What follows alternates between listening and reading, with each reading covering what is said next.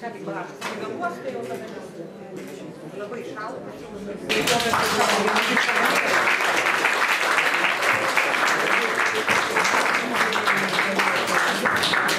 Labą vakarą visiems.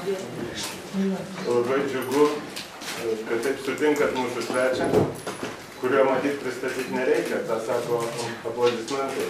Visi žino Jėlo profesorių, poetą, publicistą, Tomą Ranslovą. Ir matyt iš skelbimo žinote, kodėl susirinkom.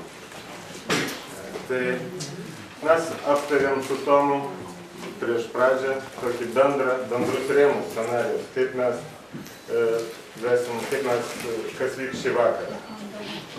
Ir gal čia mano toksai kaprizėlis mažas, nežinau kodėl man taip užėjo, bet Tomas sutiko, kad mes pradėsim nuo labai toli ir nuo labai abstrakčiai. Bet kiek aš žinau, Tomo visada įdomu klausytis. Ir jisai sutiko, kad mes pradėsim kalbėti apie tai, ką vadinam tai, kas svarbiausia. Man ta mintis kilo taip pavadinti tą pokalbio dalį, kas tai, tai kas svarbiausia, klausant, skaitant Pasternako ir Šalakovo susirašinėjimą, kurie ir vadinasi razgovorė samam glavnom. Jie kalba apie poezijos kaip, kaip visuotinio reiškinių pagrindinio ryšio kažkokią tai funkciją, idėją. Prisimenu Man- Mandelštamą, kur kas yra poezija, kuris jis sako, kad пока она не родилась, она и музыка, и слово, и потому всего живого ненарушаемая связь. Taip. А, Kas tai yra iš viso? Kas, apie ką mes kalbam? Ir klausiau Tomo, ar, ar gali būti poezija išreikšta ne tik žodžiu, ar gali būti jinai muzika, ar gali būti architektūrai, šokiai, iš viso. Ką jį reiškia mūsų gyvenime? E, Ką, ką sakys Tomas kaip poetas ir kaip? Žinot, kalbėti apie poeziją yra truputį beprasmiškas dalykas. Geriau vis dėlto mm, ją skaityti. Ir, bet dabar aš čia paminėt, čia, čia Žilvinas paminėjo Mandельштamo eilę, сена еще не родилась, сена и музыка и слово, и потому всего живого не нарушаемая связь. Labai ankstyvos eilės iš jo pirmojo rinkinio. Baigėsi tas eilėraštis Astancia пьяная Афродита, и слово к музыку вернись, и сердце сердце усыдись, перед основой жизни слито. Tarp kitko Mandelštamas, um, matot, Mandelštamą galima kalbėti be galo, bet aš noriu perskaityti kitą eilėraštį, kuris faktiškai skirtas beveik tai pačiai temai, bet visai kitoks, žymiai vėliau rašytas. Mano beveik jo mė- mėgiamiausias eilėraštis Lamarkas. Jūs turbūt žinot, kas buvo Lamarkas. Jis buvo biologas, kuris prieš darbiną suskirstė mm, gyvosius organizmus į klases ir, taip sakant, sukūrė evoliucijos teoriją, kuri skyrėsi labai nuo, nuo, nuo Darvino teorijos, pas, paskui pasirodė klaidinga. E, taip sakant, la, labiau įt- įtikima yra Darvino teorija neg- negu Lamarko, nors jinai kelis kartus buvo atgimusi, kartais net karikatūriškomis formomis. Kadangi Lysenkos pačių teorija irgi buvo savotiškas, savotiškas lamarkizmas, bet Mandelštamui rūpėjo daugiau aš jums paskaitysiu tą eilėraštį. Жил старик застенчивый, как мальчик, Простодушный, робкий патриарх, Кто за честь природы фехтовальщик? Ну, конечно, пламенный Ламарк. Если все живое лишь помадка, За короткий выморочный день На подвижной лестнице Ламарка Я займу последнюю ступень. К ручицам спущусь и кусоногим, Прошуршав след ящницы змей, По подвижным сходням, по излогам Сокращусь, исчезну, как протей. Роговую мантию надену, От горячей крови откажусь, Обрасту присосками в пену, Океана за витком вопьюсь. Мы прошли разряды насекомых С наливными рюмочками глаз. Он сказал, природа вся в разломах, Зленья нет, ты злишь в последний раз. Он сказал, довольно многозвучья, ты напрасно Моцарта любил. Наступает глухота паучья, здесь провал сильнее наших сил. И от нас природа отступила, так как будто ей мы не нужны, И продольный мозг она вложила, словно шпагу, темные ножны.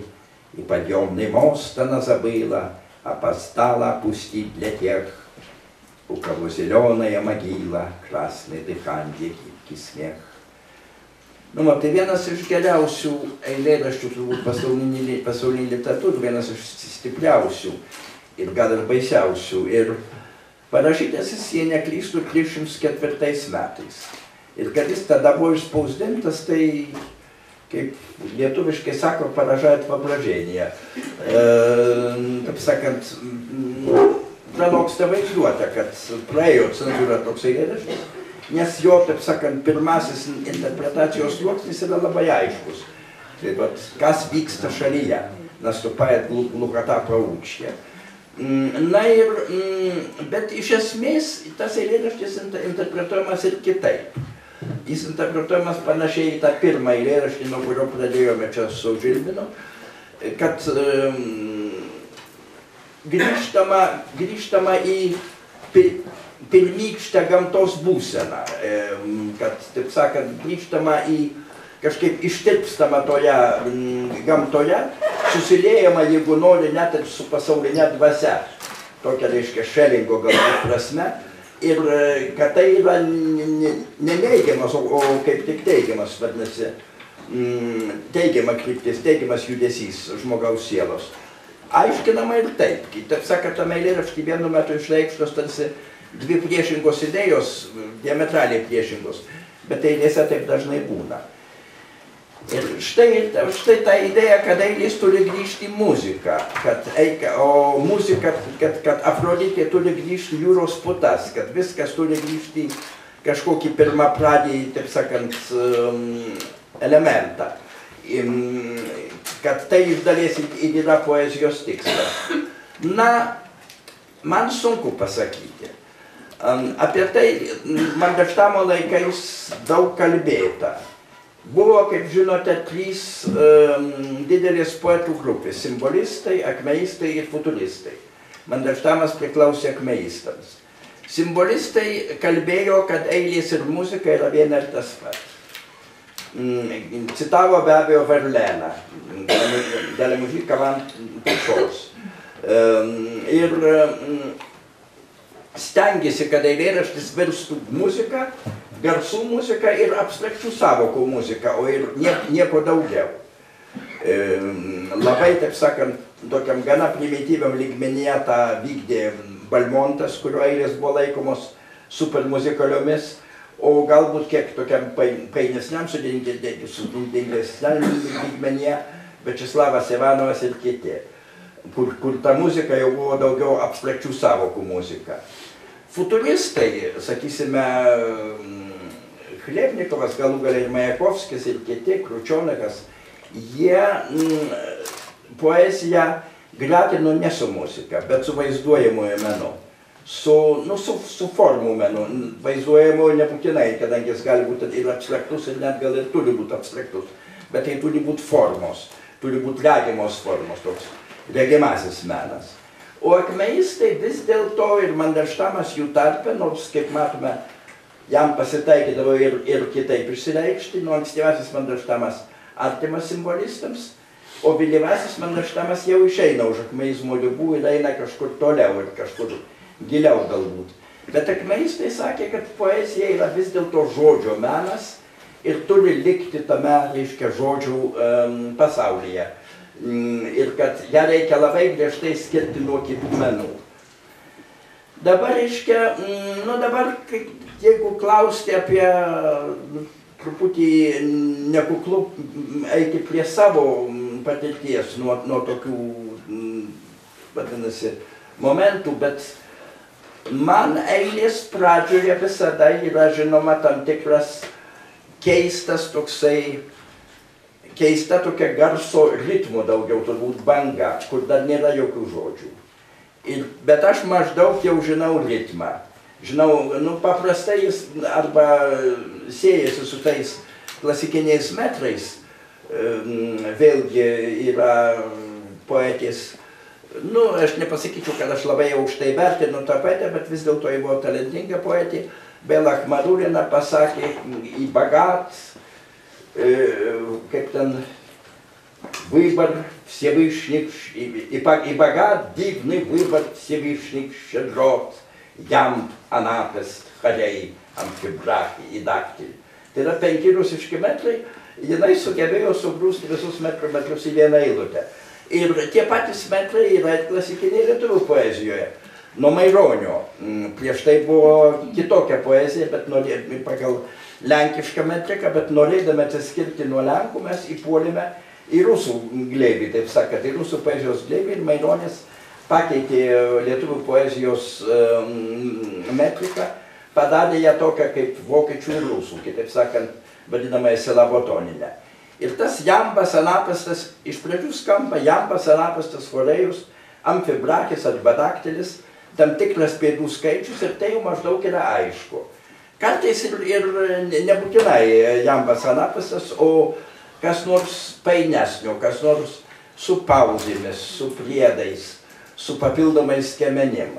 Kartais netgi skamba kažkoks verlibras, kažkokios laisvos, laisvos eilės, bet tos laisvos eilės ten būtinai turi būti tam tikra paslaptis, kuri suteikia joms um, tvarkos elementą, kad nebūtų visiškai išskydusios. Um, paprastai tą paslaptį žino, žino tik pats autorius. Kritikai kartais pajunta, kartais nepajunta. Skaitytojai dažniausiai nepajunta, nors turbūt būna skaitytojų, kurie ir tą pajunta. Na, aš paprastai laisvose eilėse tą tvarkos elementą pirmiausia stengiuosi įnešti tuo, kad jas dalinu į strofas. Sakysime, eilėraštis parašytas laisvom eilėm, bet turi būti keturios strofos, kiekvienoje po 14 eilučių, kaip, kaip sonete. Ir galite mm, pastebėti, kad yra tokių mano eilėraščių. Ir, sakysim, toks yra vienas, kuris vadinasi vyresniam poetui. Ten yra keturios strofos po 14 eilučių. To beveik niekas nepastebi, o ten yra kiek, kiek, kiekviena strofa dar ir šiek tiek ir sukonstruota kaip sonetas. Su, nu, ger, geras vertėjas viską pastebi.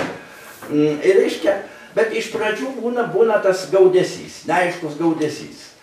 E, vėlgi pacituosiu nekukliai save patį pirmą pradės gaudimas. E, ir iš to gaudesio palaipsniui išsiskiria žodžiai. Ir tai labai sunkus reikalas. Jie išsiskiria, jie uh, sudaro tam tikrus ryšius, tam tikrus santykius, uh, sueina į tam tikrus santykius, tam tikras hierarchijas, bet tas viskas jau yra post factum. Uh, pradedi ir dabar ir, irgi klausi, ar tu sieki eilėse muzikos, ar tu sieki aliteracijų, ar tu sieki asonansų, ar tu sieki to, taip sakant, garsinio elemento um, ypatingai organizuoto. Į tai galiu atsakyti tiek, tas paaiškėja post factum. Post factum paaiškėja, kada eilėraštis turi kompoziciją, kada eilėraštis yra garcinių požiūrių organizuotas, arba ne. Jeigu ne, tai jis, taip sakant, neįvyko, jo, jo nebuvo, jis, taip sakant, nie, nie, niekam netikęs. Bet jeigu post factum tą galima pastebėti, tada viskas daug maž tvarkoja. Nu, va tiek galbūt galėčiau į tą klausimą atsakyti. Ačiū. Na, klausimų čia galima būtų turbūt daug užduoti. Na, pavyzdžiui, e, pavyzdžiui, koks vaidmuo tos poezijos. Vėl grįžtant prie to paties Mandelštamo, kuris rašė e-poeziją, jisai sakė, kad poezija nikamų ničego nedažna, siejo kreditorų ložnė. E, kaip jūs galvojate? Galima pacituoti Visteną Hugh Odeną, kuris pasakė, kad poetry makes nothing happen. Uh, reiškia, mm, poezija nieko, nieko nepriverčia įvykti. Poezija nieko nekeičia. Poezija nieko nekeičia. Ji tiesiog yra. Ji tiesiog yra, bet jos esimas, jos esimas, kad ir keista veikia kalba, o kalba veikia pasaulį. Taip sakant, tokiom, toks, mm, poezija yra kalba kvadrate, kalba, taip sakant, sukonstruota, su, su, mm, su, mm, su, sutirštinta, sutankinta. Ir jinai, reiškia, poetai yra, poetai yra tie, kuriais gyva kalba, apie ką kalba tas pasodanas. E, palaukit, aš jums paskaitysiu. Angliškai aš to turbūt neatsimenu. Bet aš galbūt atsimenu e, savo lietuvišką vertimą, kaip bebūtų keista. Aš išverčiau tą Odeno eilėraštį lietuvių kalbą. Reiškia, mm, ten įskirta Je- Jeitso mm, mirčiai, te atsiveria dobė, Jeitsas airijos garbei, išsiskynė su kančia, nėr eilių taurė tuščia, laikas mums nepakantus, nugramzdina nekaltus, nei grožybė, nei drąsa, nesirungia su tamsa. Ženkliai lėraščio keliais, tik tada jis tau atleis. Nenumirs kalbos šauklys, net puikuolis, net bailys. Laikas taiso jo klaidas, gina kiplingo valdas, net klodelį išganys, ritmika ir sakinys, nu taip toliau. Nu, vat reiškia, e, Odenas nemėgo, e, ideologiškai nemėgo nei kiplingo, nei klodelio, bet ritmika ir sakinys jo požiūriu juos, juos išgelbėjo, to, to užtenka. To užtenka, kadangi kalba, e, tais dalykais gyva kalba. O kalba organizuoja mūsų pasaulį ir faktiškai net ir lemia mūsų pasaulio plėtotę, ką mes begalvotumėm. Tai yra tokia, tokia, to, toks turbūt yra poezijos tikslas, bet kada rašai eilėraštį, žinoma, apie tai niekada negalvoji. Ir žinoma, toli gražu ne kiekvienas eilėraštis prisideda prie to, kad kalba darosi, darosi gyvesnė. Na, o jeigu jinai tas eilėraštis su ta kažkokia atsibundančiu ritmu ir paskui kažkaip tai ištraukiančiu žodžius, e, jisai ištraukia į konkrečią kalbą. Mhm. Tai, o kas paskui per stebuklai yra bandyti jį išversti į kitą kalbą? Ar tai įmanoma ir, ir, ir Nu, matot, e, neįmanoma, bet, bet vis dėlto tas įvyksta. Vėlgi pacituosiu Rodos, Rodos Vološin, Maksimilianas Vološinas, e, Mandelštamo bendramžis ir faktiškai net ir bičiulis, nors jie buvo, buvo, buvo ir labai sus, susipykę vieno tarpu. E, Манделш- Волошинас посаке от переводчика надо требовать органической способности к чуду. Tai yra, jis turi daryti stebuklus, stebuklą. E, Bliusovas irgi poetas, kurio aš, n- n- taip sakant, y- ypatingai nevertinu, bet kuris pa- pavadino vieną straipsnį Fialki flygelė. Kitaip sakant, žibuoklę reikia įmesti į krosnį, suskirstyti jos e, pirminius elementus, o paskui, paskui iš tų elementų vėl padaryti žibuoklę. Ta gali padaryti viešpats Dievas, bet, bet žmogui tas turbūt neduota. O kaip bebūtų keista, tas kartais atsitinka. Tas kartais atsitinka. Nu, matot, eilėraštis yra, vėlgi dabar jau čia galima moksliškai pasakyti, kad eilėraštis yra mm, sudarytas iš lygmenų. Tai yra, nu, jis nesudarytas iš lygmenų, bet tai galima skirstyti lygmenis analizuojant. Ir e, yra garso lygmuo, yra ritmo lygmuo, yra semantikos lygmuo, yra sintaksis lygmuo, morfologijos lygmuo ir taip toliau, ir taip toliau. Ir tie lygmenys labai painiai mm, santykiauja. Ir tik jų, tik, jų santykis, tik jų, taip sakant, susidūrimai, jų prieštaravimai, jų, taip sakant, kažkokie slapti ryšiai, tik jie sukuria eilėraštį. O kitoj kalboj tie lygmenys visai kitokie. Bet kada verti, tai reikia pabandyti, kad bent tų ryšių sudėtingumas būtų to paties laipsnio kaip originale. Tai labai sunku. Žodžiu sakant, vėlgi sakau, kad jeigu nori versti Pasternaką, tai reikia versti taip, kad um, taip, kaip parašytų Pasternakas, jeigu jis mokėtų lietuvių kalbą ir rašytų lietuviškai. Kad tai būtų jo eilėraštis. Galima savo leisti nutolti nuo originalo, galima. Yra vadinamos atsibetinos. Ir aš, visiškai jom, joms, kaip sakai, nesu priešingas. Bet negali pasakyti to, ko jis tikrai negalėjo pasakyti. Tos atsibetinos turi būti jo galimybių ribose, jo, taip sakant, jo priimtos poetikos ri- ribose. Ir kad retkarčiais išeina. Aš gyvenime daug verčiau, nu gal ir netaip jau baisiai daug, bet vis dėlto susidarė knyga. Storoka knyga vadinasi kitaip, gal kas ją yra matęs ar skaitęs. Ir, ir mm, kodėl kitaip? Kadangi tai kitaip negu mano paties poetika. Ir taip, taip pat kitaip negu tų poetų e, eilės. Bet vis dėlto ne visai kitaip. Ten yra ir Borleras, ten yra ir Pasternakas, ten yra ir Klebnikovas, ten yra ir Rilke ir daugelis kitų. Na, mm, vat reiškia, kažkaip intuicijoje, pasąmonėje mat, matyt, pasąmonėje matyt, e, pats apie tai per daug negalvodamas kažkaip suskirstai tą eilėraštį lygmenys į tą žibuoklę, į jos e, sudėtinius, sudėtinės dalis, elementus ir paskui vėl statai, augini, taip sakant, tą, tą žibuoklę pagal tokį gal net ir truputį nevykusį Briusovo palyginimą, bet nu, kažką jis vis dėlto pasako. Ir mm, kart, kartais, kartais, nu, gal ne žibuoklė, gal išauga kitokia gėlė, bet vis dėlto gėlė, o, o, o, o, o tai jau yra gerai. Tai bent teoriškai išeitų, kad, tai, kad neįmanoma, kad visi tie lygmenys būtų taip uh, suderinti ir harmonizuoti, kad turėtum iš esmės tą patį, tik tai kitaip ištartą.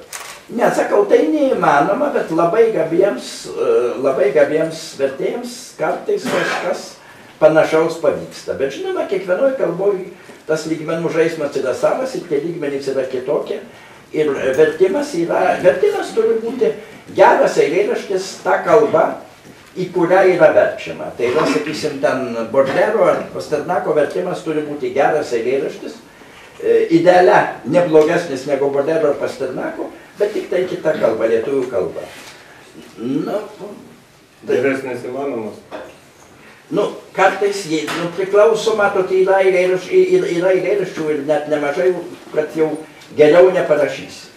Bet kartais gali būti ir geriau, kartais gali būti ir geriau, jeigu originalas, a, ma, ma, ma, man tai daug, daug sikių pasitaikė, ne, ne man kaip vertėjui, bet man kaip, auto, kaip, kaip, kaip originalo autoriui, kad sakysime, mane yra vertęs, kad ir Brodskis, nu, nu geriau negu aš pats parašiau, tikrai geriau. kitaip, žinoma, kitaip. Yra, reiškia, yra tokių, to, tokių atvejų būna, tokių atvejų būna, sakysim, čia Ania išvertė mano eilėraštį kamerą obskūrą į rusų kalbą. Man visiškai, aš visiškai tikras, kad tai yra geriau rusiškai skamba negu skamba lietuviškai.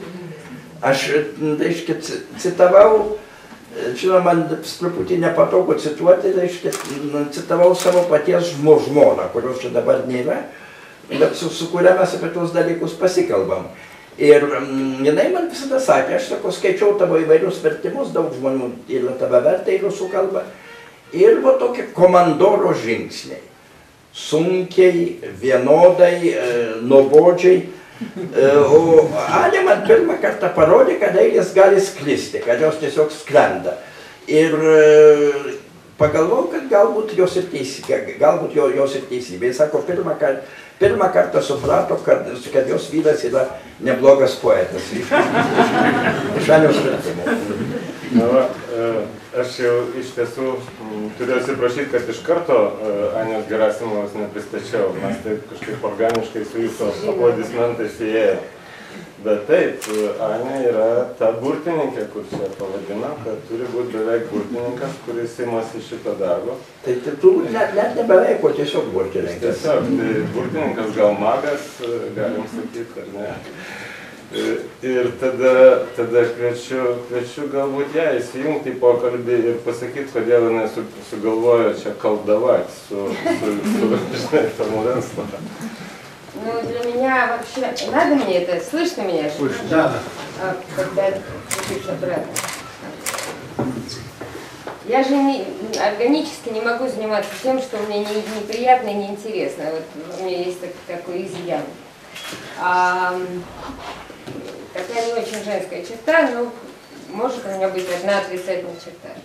А, поэтому я хитрая, я перевожу только то, что мне нравится. Вот я переводила Потацкаса, Юниноса, Радаускаса, и, и потом думаю, ну куда дальше еще можно? Вот можно, например, а, и тут как раз, ничего, что я по-русски говорю, я позабыла, что я по-русски.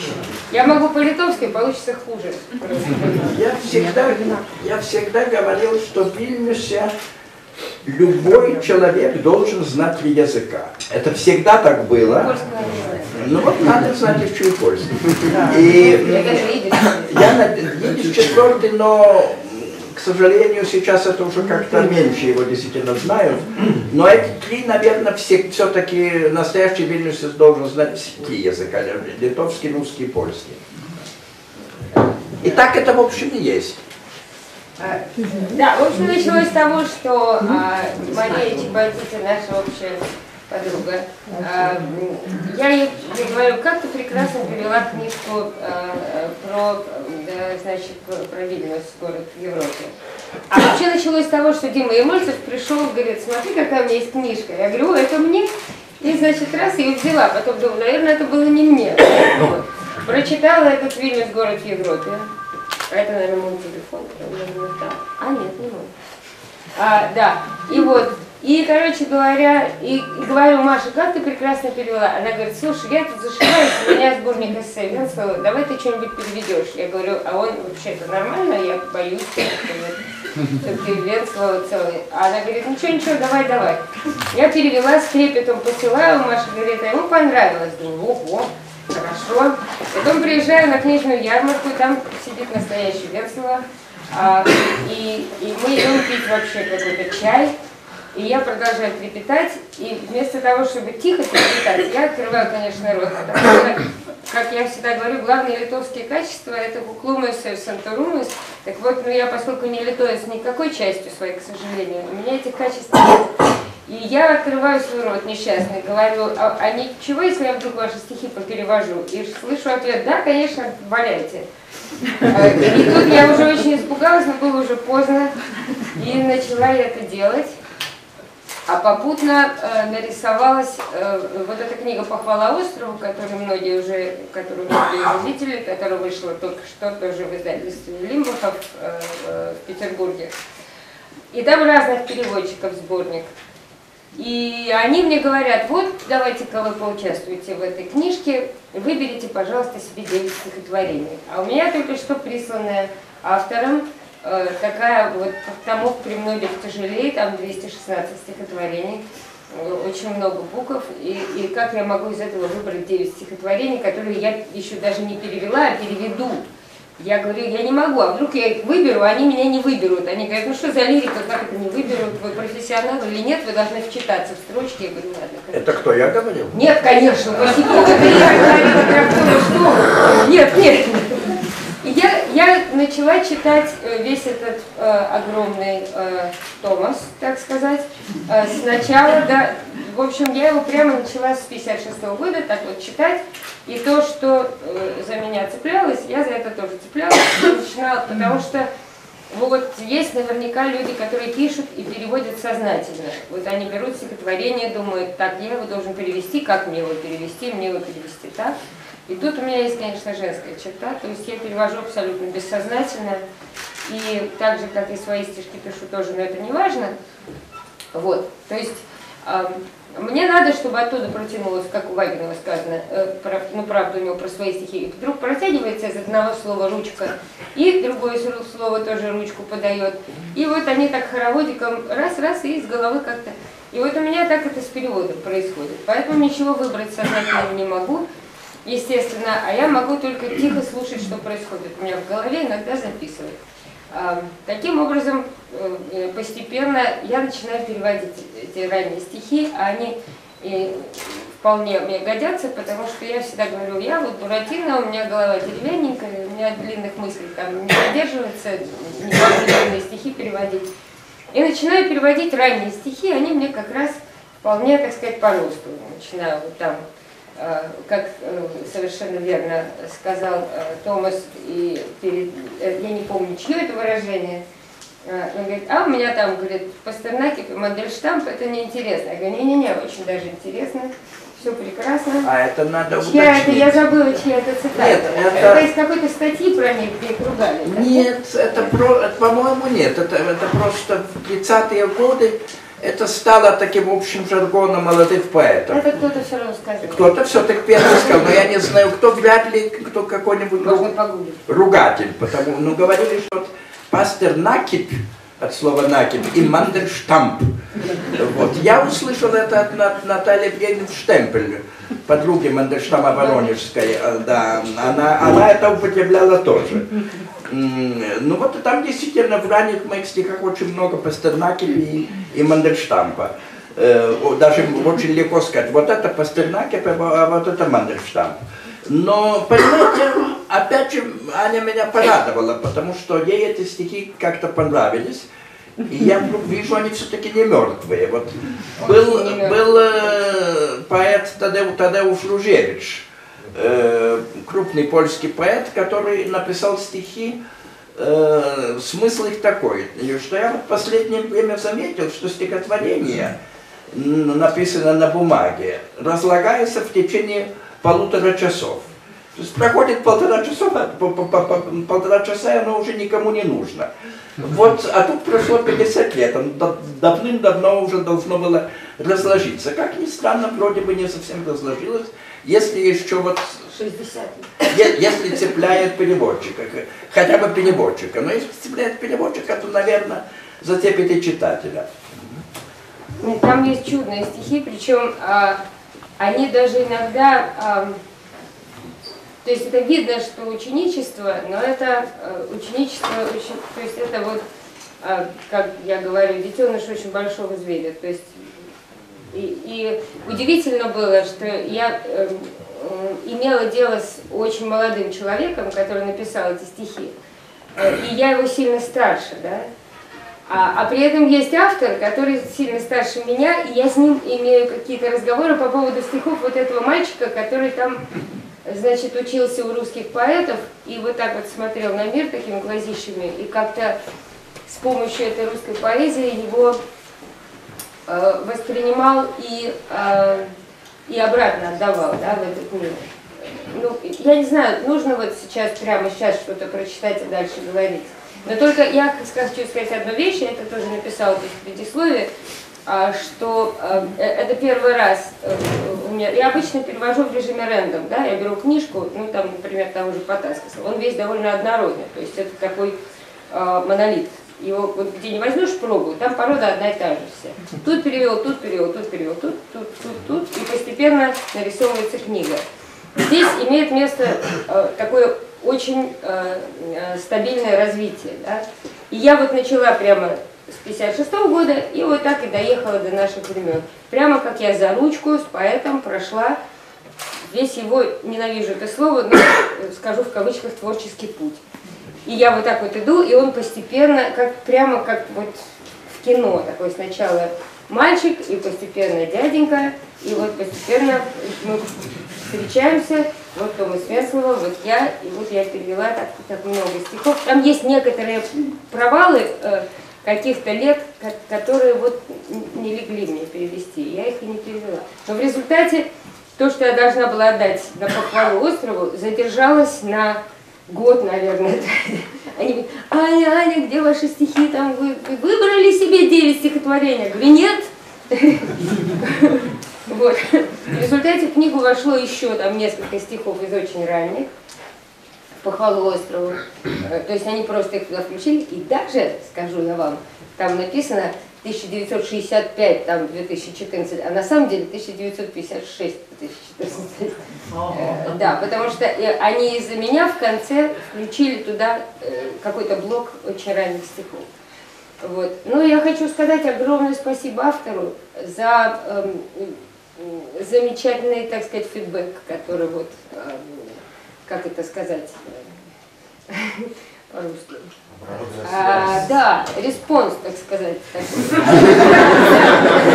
В общем, ответ. То есть я пишу, мне человек отвечает. А, я пишу, вот как вам вот этот стишок?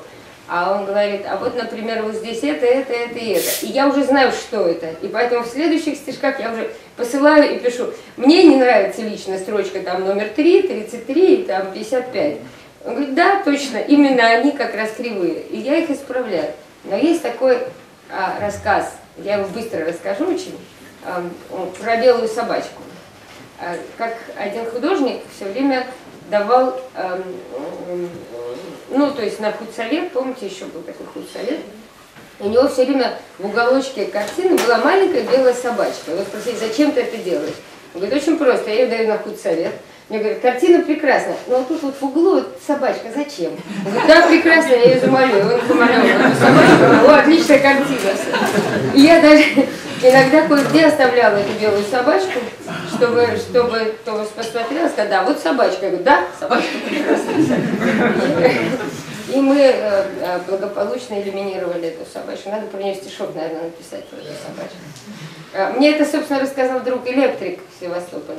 Я, я- я когда что-нибудь чиню, я всегда оставляю белую собачку, чтобы они мне потом позвонили и сказали, приезжайте, вот, вот это почините. Я говорю, да, хорошо, все остальное прекрасно.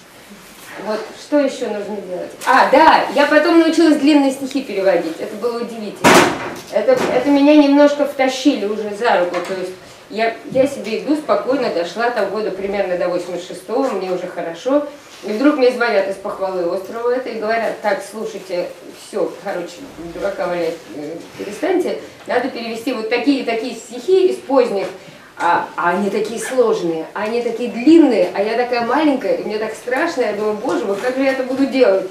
Ну вот ну, никак, как ложишься, вечером берешь. Я, я даже писала, я, конечно, наверное, превышаю немножко, но я писала там, типа, Томас, ничего, что я с вами сплю. То есть я, я беру эти стихи, и я с ними буквально вот пока, пока у меня глаза совсем не закроются, я с ними с фонариком в поездах, где угодно, я еду, и, и чтобы они вгрызлись мне в мои маленькие мозги, чтобы потом из них чего-то вышло. Ну, вот такая история.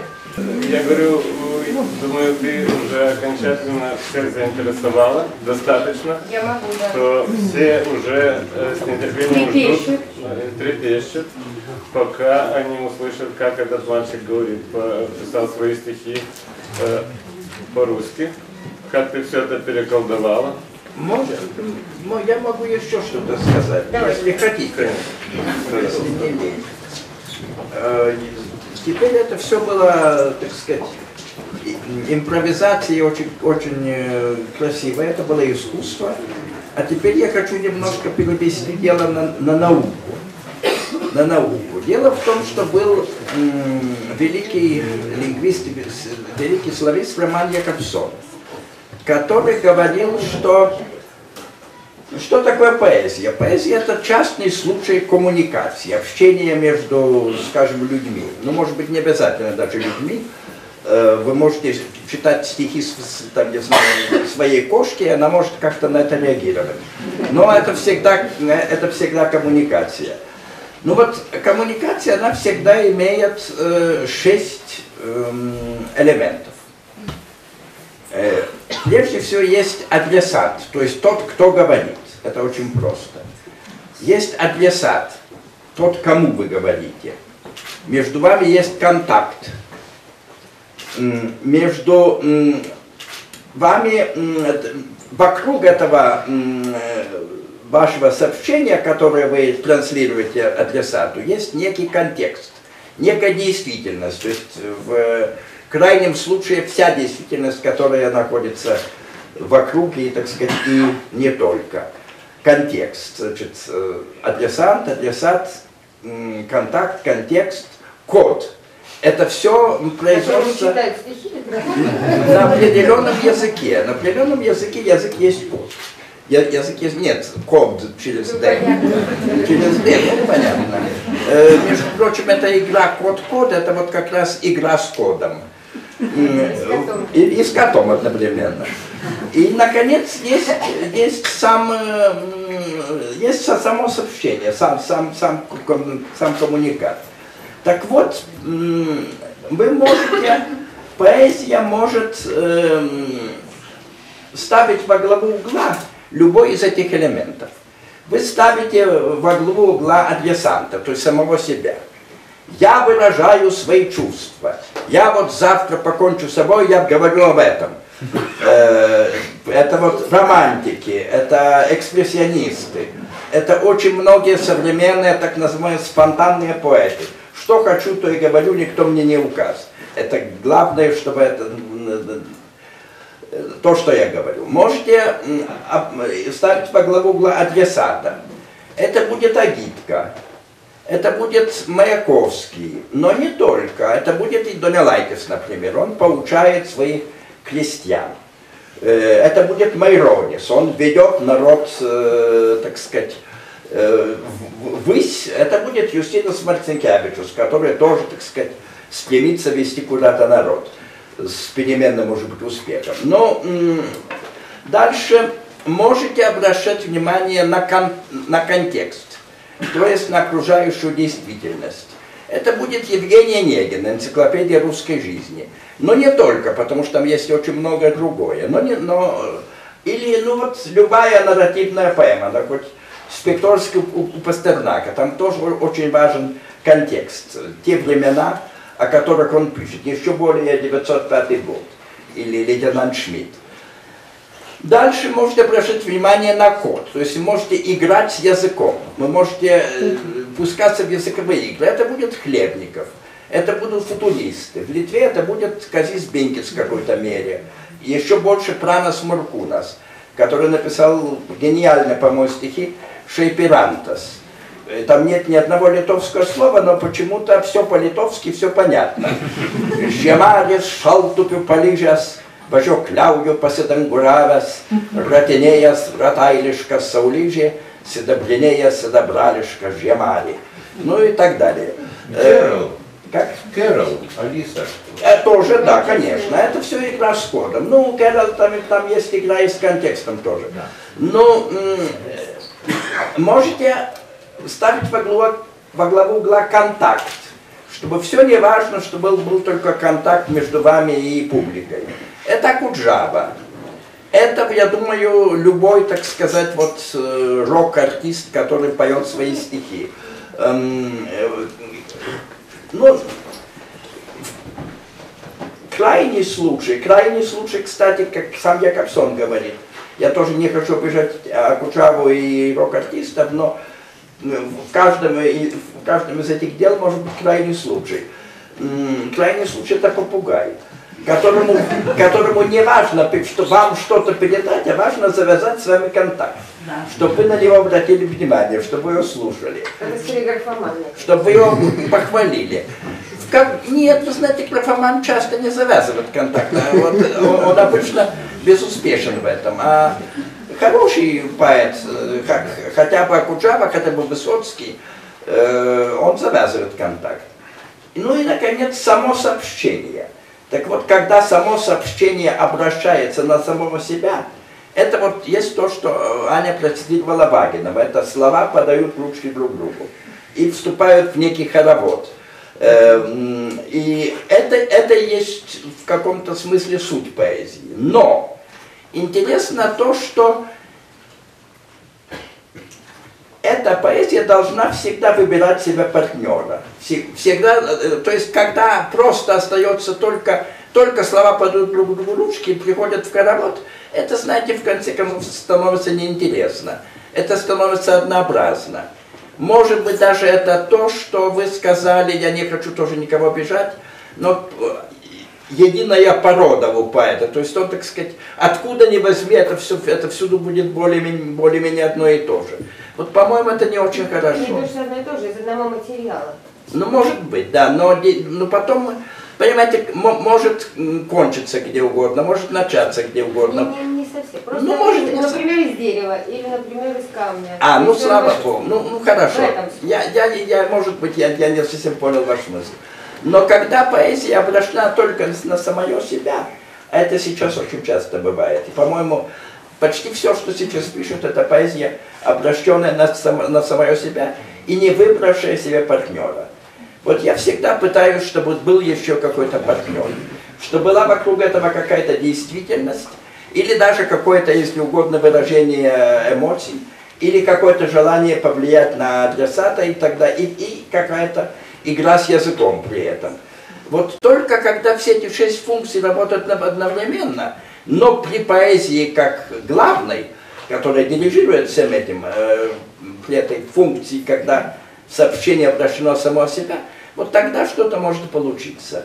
Иначе получается, скажем так, ху- хуже. Ну, извините, если, э, ничего. что, как- Я если кого-нибудь обидел, да. Нет, вы никого не обидели. Я наоборот хочу сказать, что если бы я думала, когда я перевожу или пишу там стишки или песни, если бы я думала об этих шести функциях, я бы не могла написать ни строчки, потому что я бы запутала. Да, разумеется, Как сороконожка, где у меня функции вообще? Разумеется, разумеется, это так. Э, а- О функ- Я говорю, о функциях можно думать только постфактум. Только постфактум. Вот прошел, протанцевал, потом иногда бываешь, так смотришь видео. А вот как тут, как тут прошелся, как тут протанцевал. А ведь ничего, но только постфактум. Пока танцуешь, конечно, думать об этом не надо. Или, о боже мой, какая муть получилась. Э, Но это тоже постфактум. Давайте, может. Так э, мы уже Да, будем? к этому шли, да. Да. А, давайте немножко ранних почитаем, я предлагаю. А будем читать в оригинале перевод или... Э, Я думаю, что э, я вот что хотела, именно проиллюстрировать немножко про и Мандельштам. Я вчера полезла э, смотреть, м, сравнивать, значит, ваши переводы Пастернака и не помню, чьи еще, и самого Пастернака. И потом подумала, что самый лучший перевод Пастернака это ваши собственные э, стихи, которые совсем не, они Ни- ничего оригинальные. ним не Ну имею. вот для Донища какой-нибудь, например, Да. это лучший Пастернак на литовском языке. Я бы так сказала. Так. Бог знает. Без, без э, привязки к оригиналу, просто, ну, нет, нет. Вот, эм, Да-да. и еще я вот, э, еще я хочу сказать, что вот я еще раз процитирую э, Рена Рауда. Как выяснилось, я все время забываю, кто это сказал. Он сказал, что э, как стихи Томаса Венсела, вот он, так, так, э, стишок, а, э, так и, например, стихи Радаускаса, как сказал потом Томас об этом, это э, э, русская поэзия на литовском языке. То есть э, это довольно э, сильное высказывание, оно может быть в- воспринято как полемическое, но на самом деле это безоценочное суждение. То есть так же точно, как мы недавно говорили, так же точно там Пушкин это французский поэт на русском языке. То есть очень э, большая связь с русской поэтической традицией, и благодаря этому переводчику хорошо. То есть переводчику есть куда это положить. Не надо выдумывать мне никаких вот, вещей. Не лишних. читать. Да, для себя. Да. Ну, в общем, вот, да. Это вот ранние хотите, вещи. чтобы я? Я хочу, да, я А. хочу несколько ранних прочитать, это- а потом других. 60 лет тому назад. Это уму непостижимо, и поэтому мне это кажется безумно слабым. Хороший. Visai nelaukta slieka ūpas ir vėl eilutis nei vienos, o iš tvėnus upės nuo praeities neapsigynęs, jas surandė ir užmiršti, jos vam skambėjime sniegynų, vadiniai ledo maišaty. Ir amžinai kas metai bręsta, iš naujo pradeda kasmet, nepasakyta, neišspręsta, lyg tai eilėraščio prasme. Lyg žertvės vagonai išpilta, be žodžių priima vidun, nuo tilto kraudžia lygi tilto, sunkiu vidurdienio medum. Это типично Пастернаки, конечно, но, но, но куды, куды нам, как говорится. А, ледоход. Все снова пополам и дыбом, и снова ни одной строки. Поломанного неба глыбы трещат и рвутся из реки. От прошлого незащищенный все вспомнил и забыть готов Среди снегов звенящих черных и медной путаницы льдов.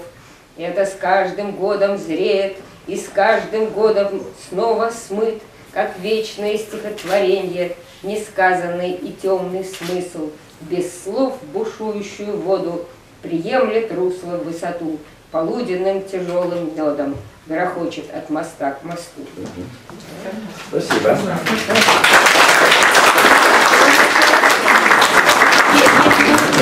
Хорошо.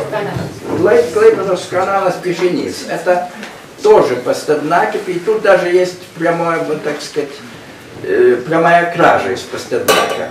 Вы знаете, я как-то как-то пытался придумать аксиоматическую теорию литературы. Вот, так сказать, если что-нибудь такое не придумаешь в духе Греймоса, то тебя, в общем, и в деле держать не будут. Но я придумал только одну аксиому. Аксиома такая, каждый текст у кого-нибудь украден. Это очень, кстати, свойственно для рок-н-ролла и блюза. Это, это называется, э, в литературе называется интертекстуальностью. Так вот тут э, точно украдено, потому что это у Пастернака есть стихи про Венецию. Э, Венеция венецианкою с набережных вплавь. А у меня это Клайпедский канал. То есть что такое канал? Это между Неманом и Клайпедой в немецкие еще времена м, пролит канал Вильгельма. И вот так утром на палубе кораблика я приближался к Клайпеде, она была видна вдалеке. Даже доносился какой-то странный шум оттуда. И вот об этом стихи. Tau šraviskas susimaišė, lietaus ir šimtmečių riboj, įsimylėjimas ir maištas, Šekspyras, Blokas, Rambo, į vandenyną plaukė plotas, neskyręs dūmų nuo namų, toks begalinis, toks miglotas, dvelkęs tamsa ir kartumu, toks atviras ir toks negėdras, taip neartėj ir taip aukštai, į rūką ritosi žuvėdros, į jūrą ritosi rytai, jie blykčiojo garsų grandinėm, anapus oro ir bangų, o miestas griuvo nuo krantinių, tik iš juoduojančių langų. То есть тут город тоже бросается э, с набережных, но при этом он явно совершает самоубийство. Перемешалось нынче утром ветров и ливней серебро, Заря влюбленности и бунта Шекспира, Блока и Рембо.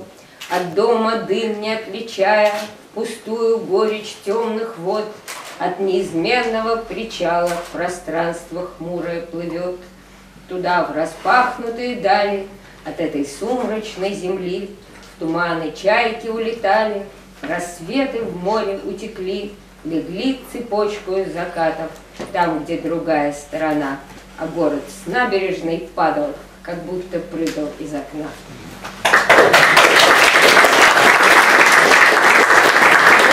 Хотите еще ранее, как хотите, мы будем еще читать правда? Давайте читать. Это самое главное, вот это очень хорошо. Вот это да, это, вот это уже лучше. Это, Это вот было рождение, 61 это даже уже не похоже на... Это даже уже не Пастернак и не Мандельштам, а нечто другое. Но это, это, кстати говоря, ну, если говорить уже о элементе акта коммуникации именно адресанте, то есть э, о самом себе и вот о том, какие здесь выражены чувства, это я в 61 году уехал в Москву э, из Вильнюса. Тому были причины, и, так сказать, э, вполне определенные причины, кстати, очень двойственные, даже тройственные, но я не буду в них сейчас углубляться. И оказался в Москве. Оказался в Москве, жил поначалу в гостинице у ВДНХ. Там э, койка у окна была всего лишь по рублю, как говорит Абуджава. Э, Но это продолжалось только месяц. Потом мне сказали, а что вы тут живете, живете. Э, Я говорю, а что, нельзя? Да нет, можно, но говорит, ну вот со следующего месяца будем уже брать 2 рубля. Это мне было, это мне было уже несколько не по карману в те времена, и я, так сказать, изменил место жительства, что имело много- многообразные последствия, скажем так. Ну вот, и вот это такая некая растерянность в новом городе, Э, в новом городе это тут как-то вот я, она не то чтобы я ее пытался передать или тем более передал, она как-то, как ни странно, сама, сама по, по себе prisustuoja. Tegu juodas ir baltas kaip akmenys, tvenkinių ir bulvarų vardai, būna laikas, kurio nebeatmeni ir pasaulis, kurio neradai. Tegu cukrus varškiai, o stiklinėse atkaklus ir kampuotas vanduo. Ir šviesa užgesinama kinuose ir lakštingalos priemiščių plynėse bilinėja silkom valandom. Tegu parako prieskonis primena, kad prašvito visai neseniai ir po didelį miestų žvėryną iškilauja maži traukiniai, nes su paukšniku rašara plakasi, pieštuku ir geltona druska, taip lengvai nužymėjo apakusio, neišsprendžiamo Dievo ranka. Эм, Переводчица моя на английский язык Эллен Гинси сказала, что это может быть лучшее мое стихотворение, что меня, конечно, ну, ну, не- не настроило на хороший лад, потому что очень раннее я думаю, что все-таки удалось что-то написать немножко получше, чем это. Пусть как пульс черно-белого города, как бульваров, прудов, мина, будет мир, и найти которого незапамятные времена. Сахар, творог, графин со стаканами, с угловатой упрямой водой, чтоб светились киношки экранами, чтоб в предместьях всю ночь над полянами грохотал соловей молодой. Пусть напомнит нам привкус пороха, Расцвело только что, и тогда По зверинцу огромного города Небольшие пошли поезда, Ибо грифеля след неокрепшего, Где слезу поглотила река, Так легко прочертила ослепшего Несказанного Бога рука.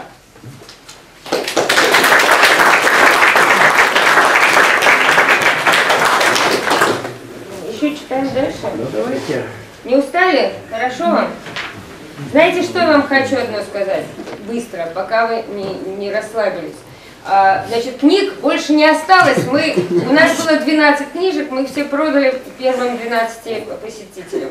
Значит, сейчас, э, я думаю, что мне телефон звонил. Сейчас в поезд эм, в Москве грузят еще какие-то пачки срочно. Если им удастся их передать, Ну, то есть в любом случае, какие-то книги еще будут 4 числа в Ужу-Пековине, будет вечер такой. А, вот Томас любезно согласился тоже в нем поучаствовать. Сначала мы будем читать стихи, переводы и говорить слова. Ну, во втором отделении я буду петь песни на всякий случай, но уже свои, там, если кто не хочет, можете уйти. А если хотите просто за книжками прийти, я тоже не обижусь, приходите. Это будет не прямо в кафе, а в банкетном зале, там немножко где глубже, я там стульчики поставлю. В 7 часов. Как раз по Казикусу, э, по Казикусу нагуляетесь и приходите. Значит, э, мы, наверное, будем маленькие. Ну хорошо, основном Ну, а грустили. ну как сказать. Ну вот это, это стихи про Нерингу, то есть не кафе Нерингу, а косу Нерингу, которая у Клайпеда. И, ну, при этом не про Ниду, про которую все пишут, а про Копгалис и Смельтини, где находится крепость и маяк. Даже два маяка там они друг против друга. Viršum pusiasalio užsiveria diena, kaip akina kaitra, kaip šiurkščiai špytis kliautas ir pučių statinys pakrantėje sugriautas, atgimsta nei žoliai, plevenanti liepsna, nei smėlio lygumos, nei įlankų gelmė, jų neskaidri kalba svaresnė negu mūsų, nei garso atminti, lyg iš tvirtovės rūsio, iš sąmonės vidaus prasimuša versmė. Mus nugali gamta, luskas vartus pina, lyg teismo angelas prabyla švitulys ir smėlis uždamas įplūsta pro duris ir tamsūs debesys apsunkina žemyną. Ну вот тут присутствует некий Мандельштам, конечно. Ну и хорошо. Над полуостровом сомкнулся купол дня, О, как слепит жара, как свод небесный ярок, И здания пенные из башенок и арок, И на воде в траве молекулы огня, И белые пески, все полно смутной речью, Ни звука в памяти, язык цветов и рыб, Клокочет в погребе и рвется из-под глыб. Слова его куда весомее человечьих. Замок разъела соль, природа наступает. Маяк во мгле трубит, как ангел в судный рог. И вот песок, гудя, ползет через порог. И сушу тяжелит завеса туч густая.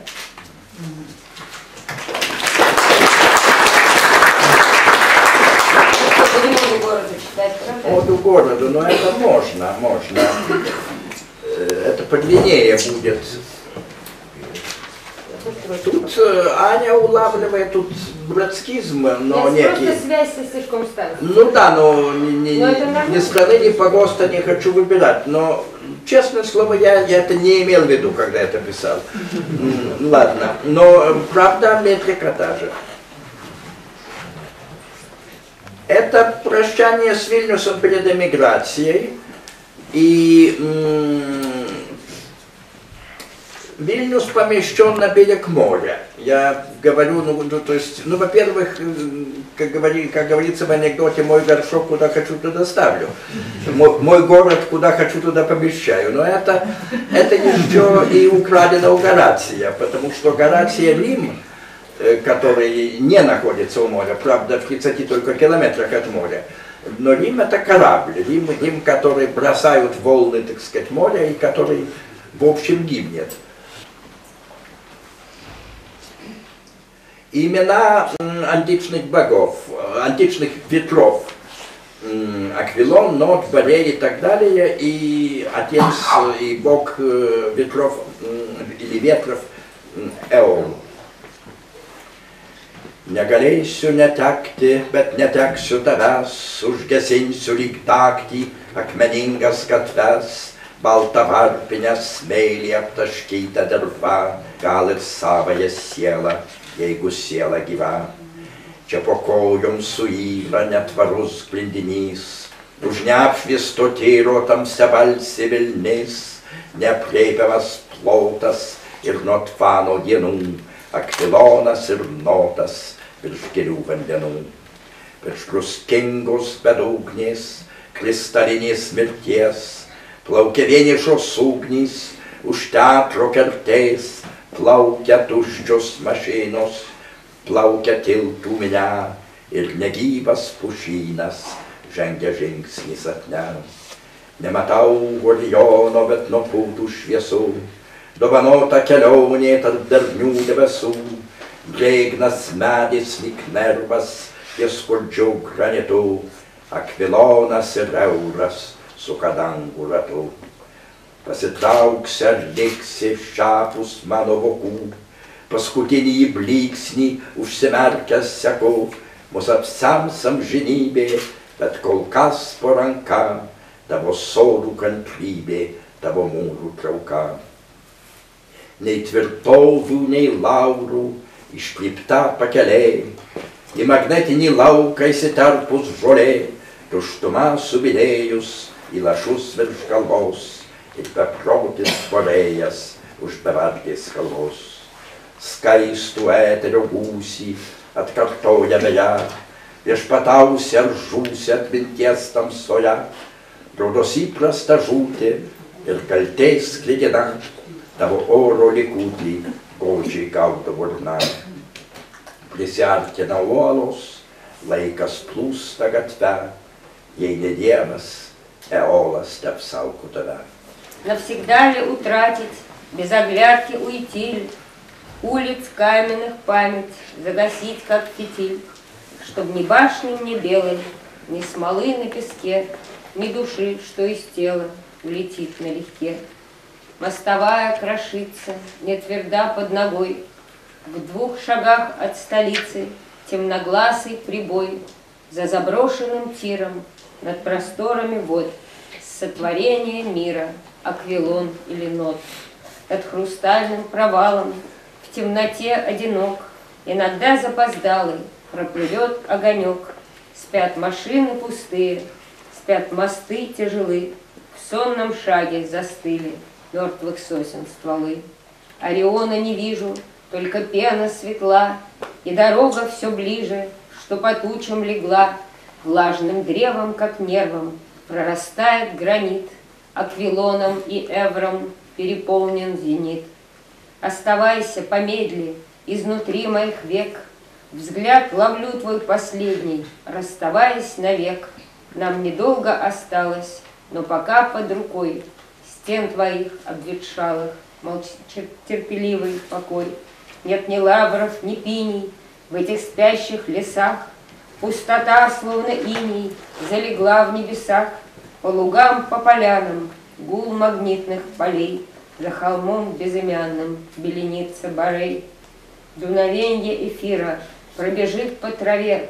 Сохранишься ли с миром в темноте в голове, но привычней прощанье и виною угольки застревают в гортани дней последних глотки. Надвигаются горы, ветер времени зол, да хранит тебя город, не Господь, так Эол.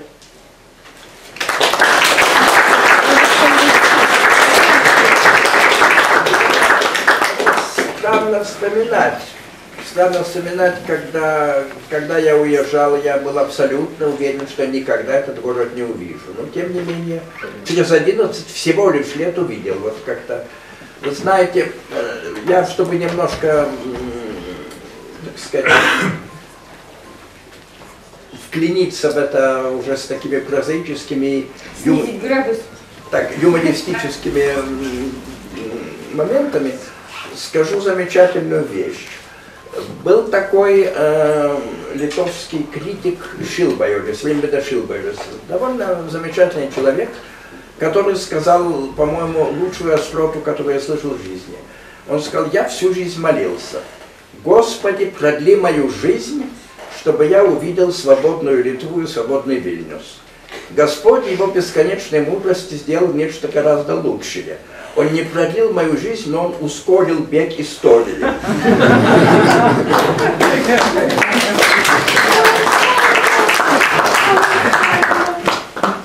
Я предлагаю вот прочитать какое-нибудь стихотворение из совсем э, недавних, чтобы, э, ну,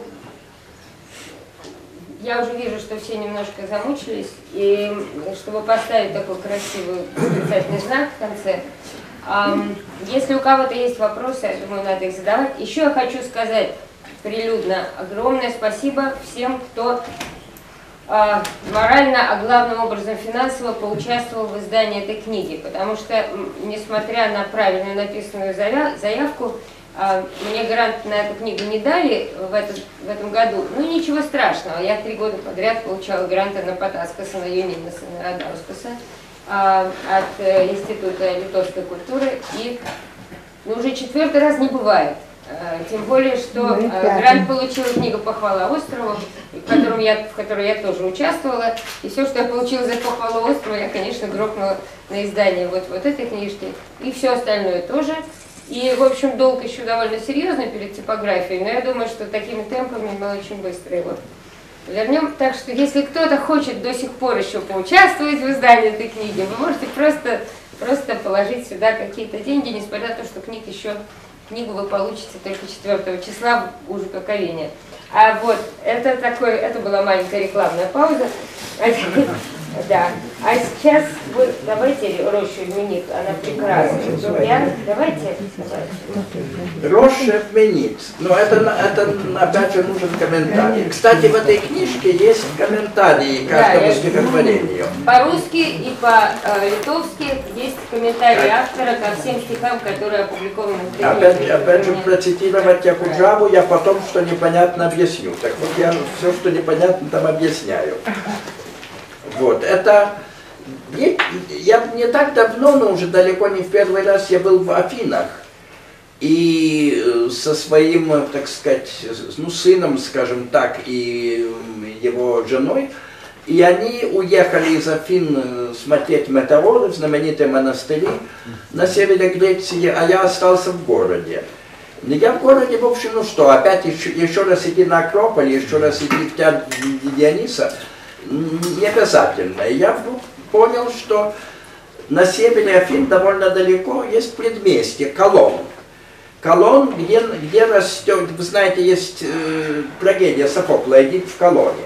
Ну, Эдип, эта история Эдипа всем известна.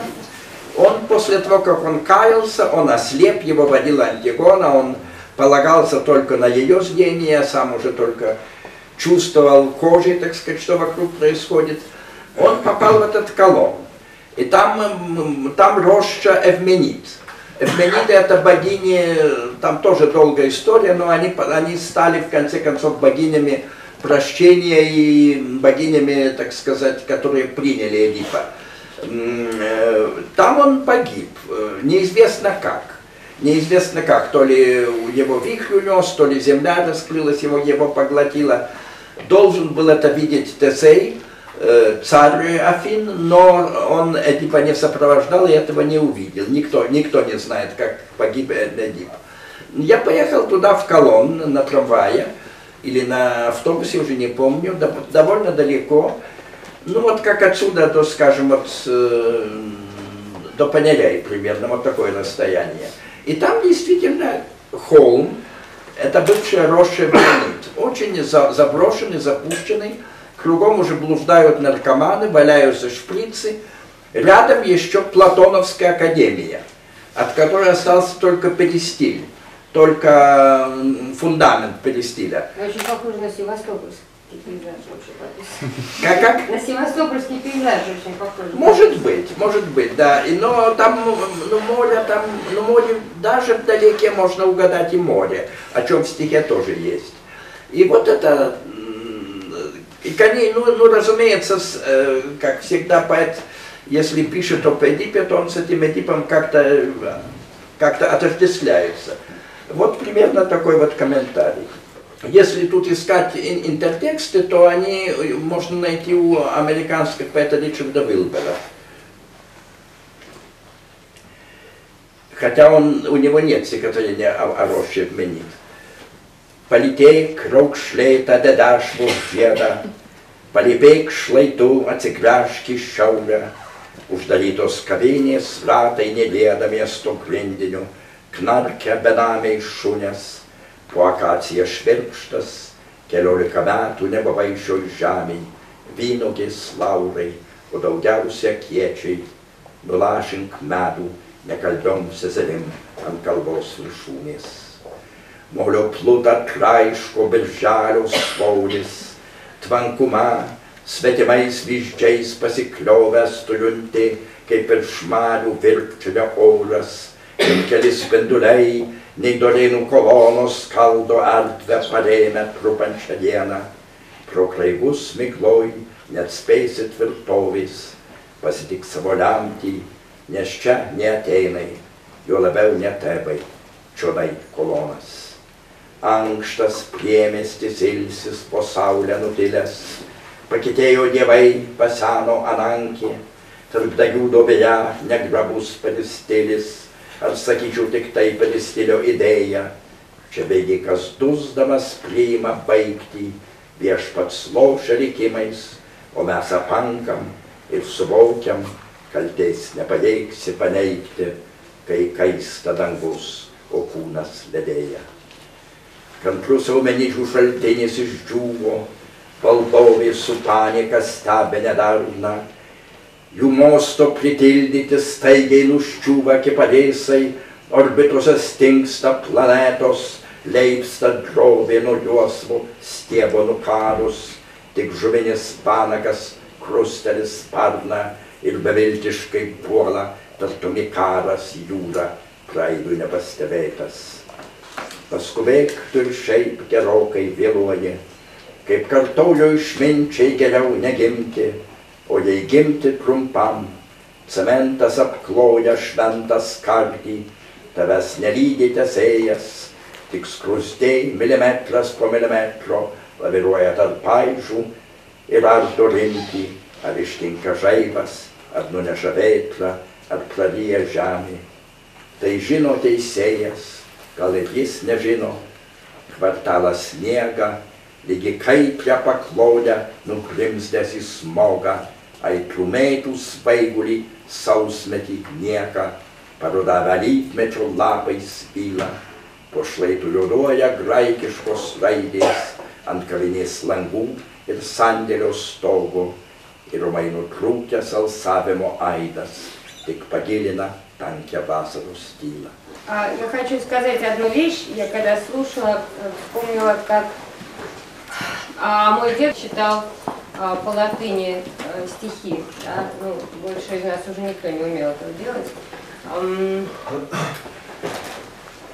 Тут, конечно, вспоминается ваш дед, небезызвестный, который, видимо, все-таки очень серьезно вложил какой-то очень серьезный фундамент э, ваше образование и человеческий и литературный склад, да, вот. Ам, ам, Здесь о нем много. О Меркеле Сорочкаускасе, а есть много фотографий э, его, и это вообще здесь очень много всего. Потом стихи занимают, вот здесь кончаются стихи, вот здесь кончается искусство, а здесь уже дышит почва судьба. Да. А, то есть э, искусство буквально занимает 80 страниц, так же как книга Радаускаса, а все остальные страницы это а, письма, воспоминания.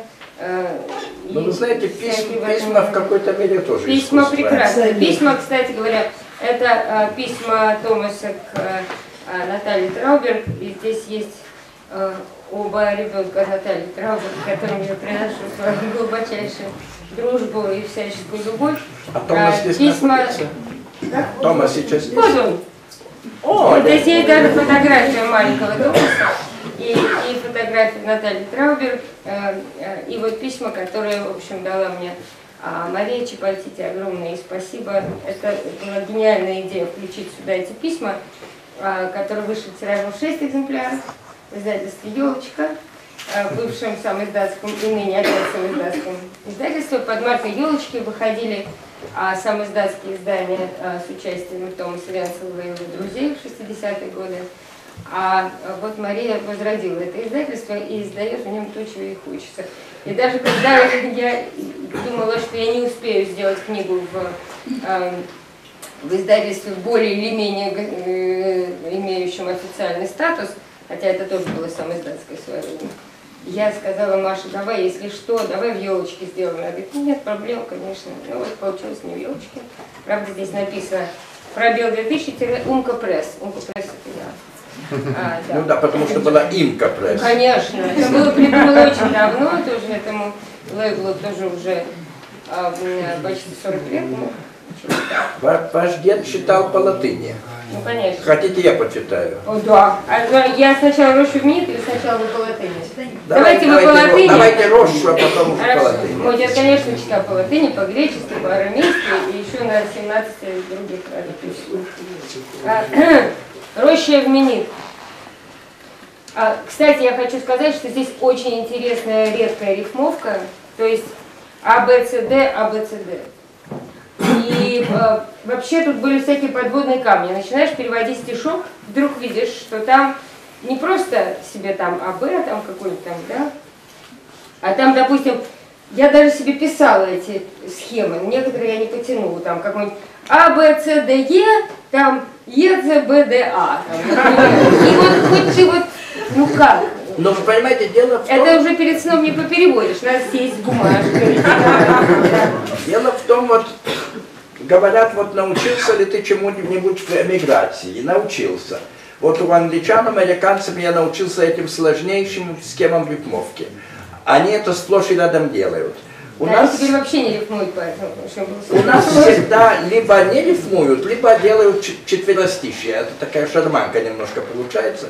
А вот можно делать не четверостишие, а гораздо более сложная комбинация.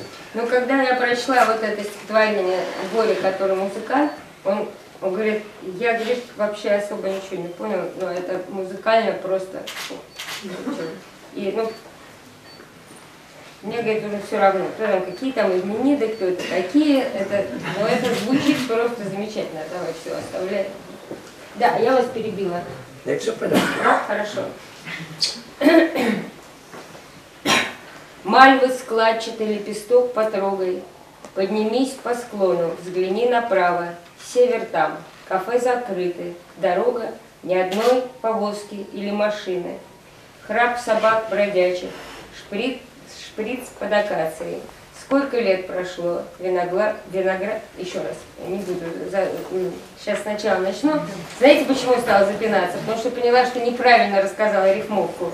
Она как-то сложнее. Она другая, да. Да, она другая, она не так, как я сказала, потом вспомню, скажу какая. Но она здесь соблюдена. Мальвы складчатый лепесток потрогай, Поднимись по склону, взгляни направо. Север там, кафе закрыты, дорога, ни одной повозки или машины. Храп собак бродячих, шприц под акацией. Сколько лет прошло, виноград да лавры, но полыни больше, меду накапай, бессловесным сестрам там на вершине.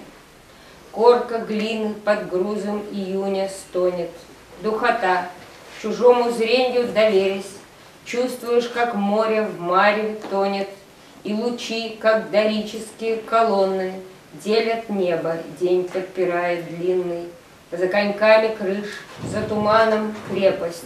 Положись на судьбу, ведь тут не Афины и не Фивы, тем более. Мы — колония.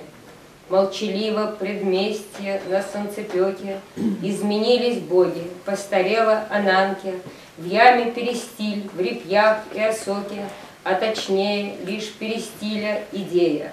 Здесь беглец приемлет смерть от удушья, Бог играет судьбами несознанку.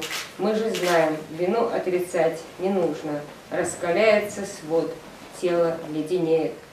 Эвменит, родник терпеливый высох, На распад богини глядят с презрением, Жесту их послушны замерли кипарисы, На орбитах планеты застыли тоже.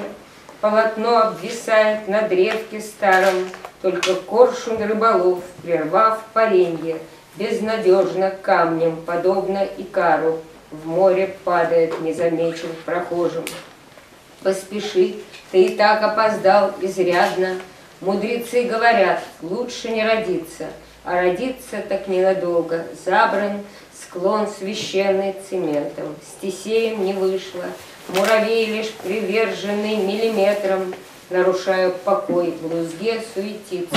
Разразит ли молния, сдует ли ветром, поглотит ли земля, судья Всевышний, даже он не ведает. Спят кварталы, сушь да смог, ничто и горькая мята С головой укрыла жаркое покрывало Заросли порыжелых олив и туи. Под обрывом греческие чернеют буквы на, на окошках кофейни, на крыше склада. И дыхание эхо прерванным звуком углубляет летнюю тишь пустую.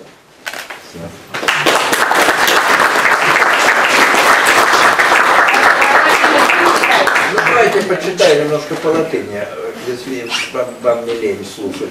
Могу даже и по-гречески. Давайте. Сначала... Немножко по латыни, немножко- Хорошо. Innova fertanimus mutatas dicida formas corpora diciptis nam vos mutastis et illas aspirata meis primac favorigine mundi ad me perpetuum deducite tempora carmen aure prima satas detas que vindice nullo sponte suas in rege fidem rectum pecorebat pönem et usque verant nec ferma minasia fixo ere legebantur nec supplex turbatim Юдики ора суис, дранцы на виндика тутти. Ну и так далее. Можно еще долго. А, а вот по-гречески это... На, что похоже? На литовское звучание? Похоже, похоже, а греческий еще более. Это шестая песня Одиссея. Вот дед мне подарил Одиссею отдельные песни в издании, старом русском царском издании для гимназий, где каждое слово объяснялось отдельно в, в, э, сносках. Просто каждое. И я тут немножко, ну я прочитал большие куски Одиссеи тогда э, в оригинале и э, кое-что даже запомнил. Хотя тут я уже, наверное, и буду, буду врать. э, Никто не поймет. Да, ну, наверное. Os manenta catota porutlas dios olusus gypno kai kamano kamato aremenos autar Atene peres fajakonan bron de monte polinte roiplin menen aionen eurocholo hypereie anchu kyklopon an kron ryperen raonton хоис фасина сконто биефи де пертеру эсен. Ну, похоже на Там литовский. Эссен. Андрон, Андрон де Полин, это, это к людям и в замок. Полин это пылинка, разумеется. Это уже просто чистый литовский. Ну и многое другое там тоже. Эссен. Э, Так что, да, вот, э, к сожалению, действительно, вот то, что отменили навсегда латынь и греческий, это некая Почему потеря. навсегда? Навсегда ничего не бывает. Вы хотели уехать из Вильнюса, навсегда не получилось. Ну да, но я ну, как-то не думаю, что в ближ- ближайшее будущ- в ближайшем будущем вернут школы латынь и греческий. А это было бы очень полезно. Не во всех, только в гимназии. Извините, по поводу переводов. Я чувствую, сейчас вопрос уже. Да-да. Я встреваю. Ну, есть такой миф, и у меня он как-то подкрадывается. Я слишком мало знаю языков, чтобы мог бы сравнивать. Вот русский, литовский, э, вот немножко немецкий, но мало. Вот чем более яркий поэт, чем у него больше, как говорится, такой, ну, творческого почерка, если можно так сказать, тем больше ощущается он. Пример. Пастернак, Шекспир. Э, в Литве э, Геда. Вот сидит из Геда, я говорил с ним, я говорю, а сколько вы языков знаете вообще-то? Ну, как-то и это, и это переводит, и Шарля Бадлера, понимаете, и, э, из Библии некоторые, как говорится, книги. А он сказал, ну, там три или что-то так, ну, очень много он сказал, а как вы работаете? Оказывается, есть такой метод у переводчиков. Сейчас я думаю, что его нет просто. Сейчас, наверное, он просто ну, ушел уже в прошлое. Подстрочник? Подстро-. Подстрочник и еще несколько переводов, как бы, и он начинает комбинировать. А переводил Возникает два вопроса. Используется ли этот метод сейчас? И второй, насколько все-таки вот эта печать личностного начала, Пастернак, там, Пауз, допустим, или Гамлет, etc., вот насколько оно все-таки действительно есть. Хотя бы вот Геда э, и Рильке. Ну, так я, когда читаю, очень красивая поэзия Геда, Геда получается. Неме- Немецкий где-то А знал. Рил- да. Рильке я не знаю, я не мог бы так прочитать. Немецкий где-то знал, но я сейчас скажу вещь. Он знал, да. Знал. Вещь страшную, я не очень люблю Геду, как поэта. И совсем не люблю его как переводчика. Мне кажется, что Бадлера он перевел просто Да, ужасно. мне тоже так казалось. Просто ужасно, и это не только мое мнение, но, скажем, так считал Ника Нелюнас. Даже можно в его дне- дневниках найти, там, правда, Геда упомянут только под буквой Г, кажется. Э, Но бог с ним. Э, А под подсрочником, да, это всегда делало советское время. Э, Приезжали сюда целые команды русских, советских поэтов и переводили литовских тогдашних классиков, которые сейчас уже большинству не кажутся классиками. И переводили, конечно, по подсрочникам. Ну, Николай Тихонов, который, кстати, был не такой уж э, совсем уже бездарный поэт, или Павел Антокольский, тоже не бездарный поэт, Тихонов перевел Баранаускаса по подсрочнику. Ну, как бы не перевел, но перевел. Да, Антокольский тоже там кого-то перевел, Мейрониса. Майрониса, и, но переводили. Я сам, я сам, например, как я переводил Рильке. Я, не, в отличие от Геда, я не знал, я не знаю немецкий. То есть я могу э, со словарем, сидя там полдня, могу разобраться в стихотворении. Ну, конечно, я могу взять еще русский перевод и польский, вот то, что вы говорили. И я немного перевел Рильке, но, но конечно, это халтура. Э, Я перевел Кавафиса с греческого, ну, греческий опять, это новогреческий, но я в какой-то мере знаю древний греческий, поэтому тоже со словарем могу худо-бедно сориентироваться, о чем там речь идет. Кроме того, есть другие переводы. Есть совершенно, ну, Кавафис писал белыми стихами, даже не вольными, а просто белыми, то есть там не надо рифмовать, например, чаще всего. Ну, совершенно гениальные стихи, это, это, может быть, лучший в мире поэт. Эм, Но тоже перевод такой. Ну, русских поэтов, польских, английских, даже французских, даже испанских, я перевожу все-таки с оригинала. Что же касается меня самого, то меня переводили довольно много, и в том числе, например, на китайский. Э, Конечно, среди китайских э, стихотворцев теперешних, ну, я думаю, никто литовский не знает. Они это делали по русским подсрочникам, русские они знают. Но вы знаете, как ни странно, вышла в Китае даже книжка. И я присутствовал в Пекине на таком вечере, где читали. И это удивительное дело. Э, Я чувствовал, что в этом абсолютно чужом языке во всех отношениях э, какая вот какая-то игра уровней продолжает присутствовать. Вот они это как-то сделали, хотя я не понял там ни, ни слова, ни, Чисто ни, музыкально не воспринимаю. морфемы, да. И, и музыка совсем другая, но музыка. Но музыка. И, значит, то же самое с венгерским, например. Ну вот довольно много перевели на венгерский, ну я не знаю, венгерского и вряд ли кто-нибудь тут поблизости его знает. Я, э, ужасно, когда переводят, вот есть переводы на македонский или на, славе, на, на славянский лучше, но на сербский, на сербский и на македонский. Тут я уже могу понять, потому что это языки близкие, в общем, к русскому или к польскому.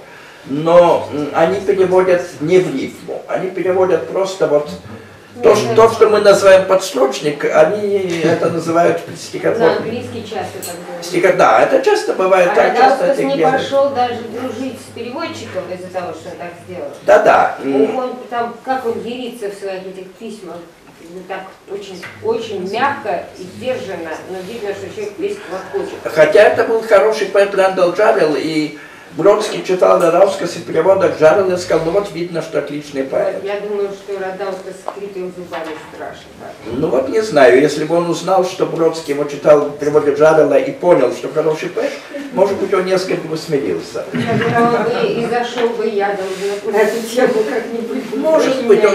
Бродского тоже, кажется, не очень любил. Бродского, знаете, что он сказал про Бродского? А, Он сказал, что э, вот опубликовали книгу такого Бродского, он совсем молодой, ему 25 лет, и много болтовни у него и всякого лишнего, но видно, что это, если он будет продолжать, то это будет очень большой поэт. Вот сказал ага, Бродский. ну, слава богу.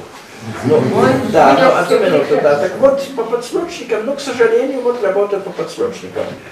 Вот Эллен Хиггс сделала и Диана Сенешаль, две а, американки, сделали английскую книжку мою. Ну, а я все-таки как-то стоял у них на душой и ожидал, что они будут рифмовать. И они, они знают русскую традицию, они знают, что такое рифма, и они в какой-то мере рифмуют, но только в какой-то мере. Ну, вдвоем могли бы хоть как-то срифмовать. Ну, каждая, каждый работает над другим стихотворением.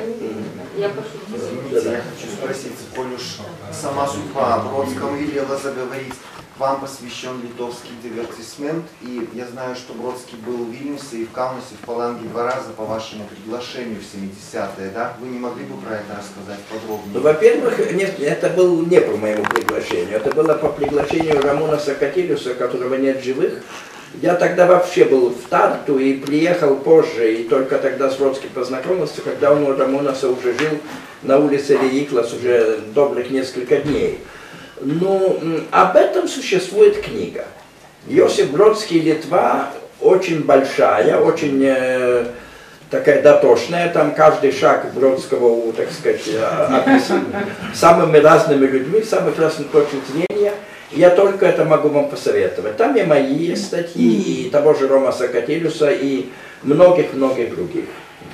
Ну, если вы говорите, вы позже с ним познакомились, но тем не менее он вам написал, ну, похожему в сущности Томаса Дно, Кастер и Полукс и так далее. Кастер и Полукс. Вот я сразу, вы знаете, Кастер и Полукс тут, тут совершенно замечательная есть, совершенно замечательный момент, который Бродский, может быть, и не имел в виду. Кастер и Полукс были близ- близнецы, но только один из них был бессмертен. Я правда не, я, правда, не помню который. Э, вот. Но Бродский был э, человеком, который э, настолько выделялся в любой, так сказать, компании, в любом контексте, что он искал к се- себе близких людей. Он их не мог найти в России, похожих на себя, не мог. Уехав в эмиграцию, не искал их в Америке и тоже не мог. В Литве ему, он, так сказать, ему померещилось, что нашел близнеца, потому что похожая судьба, и потому что непонятно, что тот пишет. Ну, на другом совершенно непонятном языке. Хотя Бродский тоже перевел два моих стихотворения, и тоже по подсрочнику, кстати. Но неплохо. Visiškai perėjom prie klausimų, ar ne? Ir kaip jokavom, jokavom su tomu pradžioje, kad be knygos ir be poezijos bus galima klausinėti ir apie pirmą meilę, ir apie prezidentą Trumpą. Pabaigai turbūt. Galime be Trumpą šiandien. Bet šiaip mes esame atvirai. Aš tik norėjau paklausti, e, ką... Sekundėlį. E, ką reiškia tai, kad e, atsirad, atsiranda kita kalba jūsų poezija, jūsų vertimai? E, Platesnė prasme, tas toksai kultūrų susiaižėjimas. Ką dabar reikš apskritai, abu gal galėsite atsakyti, ką, ką reiks e, rusi, rusi, rusiškos literatūros kontekste ir galbūt ką tai duoda Lietuvai apskritai, kas čia įvyksta? Nu, aš niekad nerašiau eilių rusiškai. Niekad. Tai yra šiek tiek, bet tai daugiau jau humoristiniai atvejai. Vieną eilėraštį išverčiau rusų kalbą. Ir tai dar Brodskis jį gerokai pataisė. O, mm, reiškia, bet straipsnį galiu parašyti rusiškai, galiu lenkiškai, galiu net ir angliškai, bet angliškai reikia gerokai redaguoti. Mano anglų kalba nėra labai gera. O rusų ir lenkų, rusiškai kalbu kaip lietuviškai ir lenkiškai panašiai. E, Panašiai, gal kiek blogiau, bet vis dėlto panašiai. Nu ką tai reiškia, nu matot, nei, nei, atsimenu, neseniai man reikėjo rašyti atsiminimus, labai liūdna, bet reikėjo rašyti jau atsiminimus apie Marcelių Martinaitį. Puikų poetą, kurį aš labai mėgau ir su kuriuo bičiuliavausi. Čia, čia šiek tiek skiriasi mano santykis su juo, nuo mano santykių su Sigitu Geda. Bet reiškia, nu, mes visi, jauni, ankstyva jaunystė visi trys buvom draugai, paskui mes abu nuo geros kažkaip nutolom. Nebe geros pastangų. Nu gerai, bet dėl Martinaičio aš radau savo dienoraštyje ir ten e, pacitavau, kad mes su Martinaičiu sėdėjom, išgyrėm apie litrą kavos čia Vilniuje, dar gerokai prieš mano migraciją ir Martinaitis pasakė, kaip baisu, kad mūsų poezijoje visą laiką perpumpuojamas vienas ir tas pats kraujas. Tai vat reikia to truputį kito kraujo.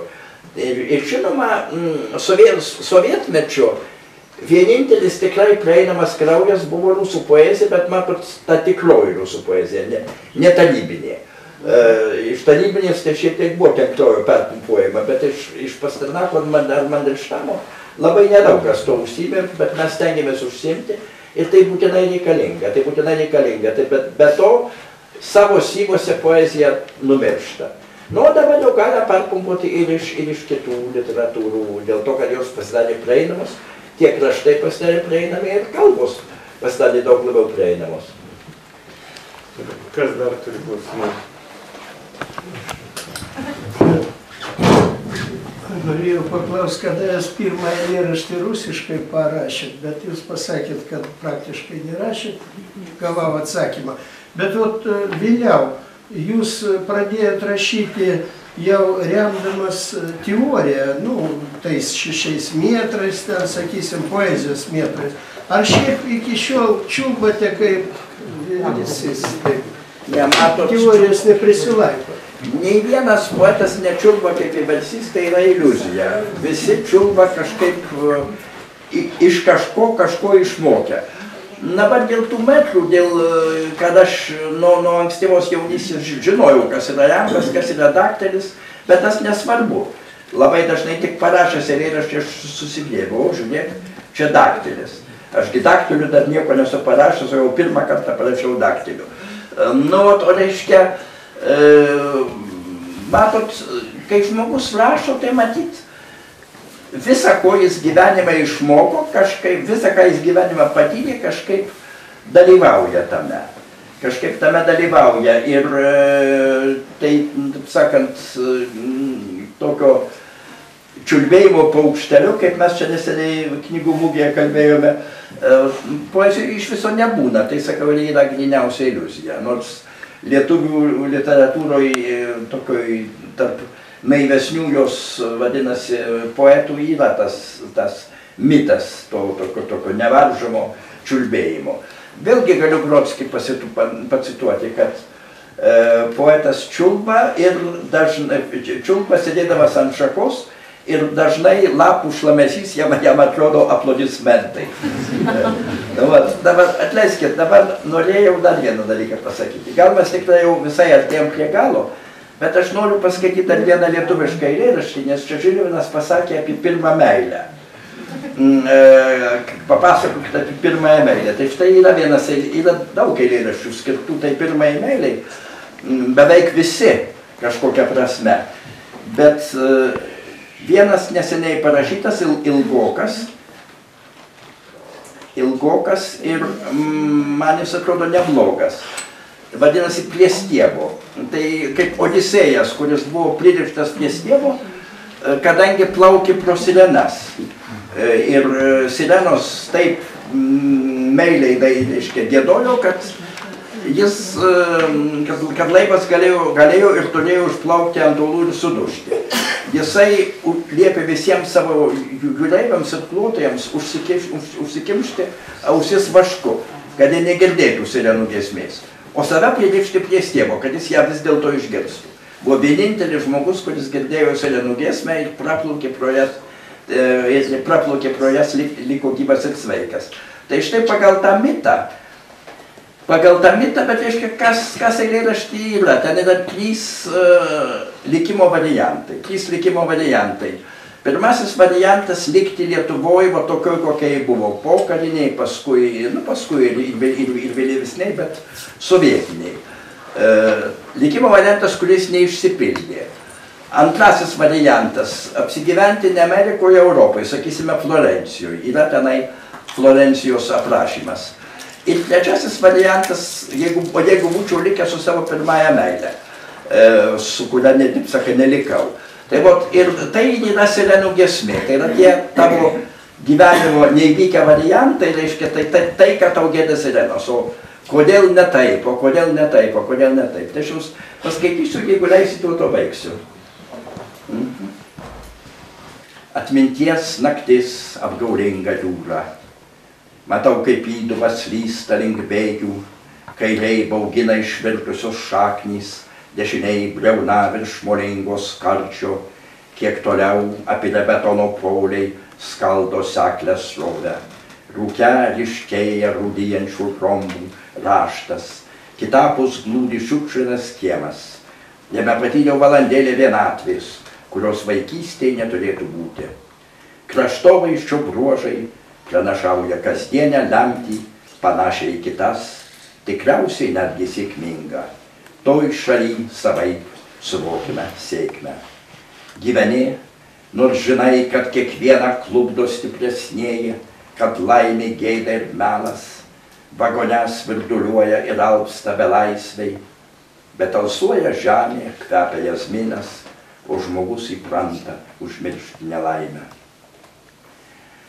Štai kita šalis, trumpalaikis džiaugsmas, niekuomet iki galo nevertęs kūnų, daugia breunių bokšto apibraiža klonį, miestas lyg šachmatų partija, lygiai atstoja rotušės mūras, valdove katedros kupolas, leidžiasi saulė skaidrios vynogynos ir varnų tuntas užkabina kraigus beprotiškam šokį, laikrodžiai tyli, šešėliai slegia šiurkštų grindinį, nišose būdi reljefai, neįskaitomos balkšvos teatro afišos, atsargiai akis pramerkęs balandis, auksinis dangus žiruoja muziejui, jį mato tik tai šventieji anapus užvertų plečento salės langinių.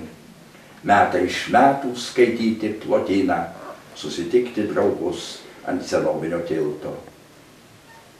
Ar namai ties tvenkiniu, medžio kolonos, blizgalentinės grindys verandoj, biliardas knygų stirta prie lovos.